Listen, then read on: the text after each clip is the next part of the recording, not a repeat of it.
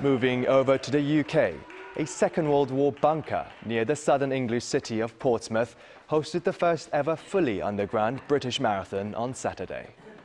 A total of 87 runners participated in the unique run, with head torches attached to their helmets, running a total of 91 laps of a makeshift 460 meter course to complete the full 42.195 kilometers. After running almost 100 laps in the dark, narrow and damp tunnels, 48-year-old Michael Burke won the men's race with 3 hours and 42 minutes and 27 seconds record, while Laura Watts won the women's race with a time of 4 hours and 22 minutes. Another underground race will take place at the same venue next November.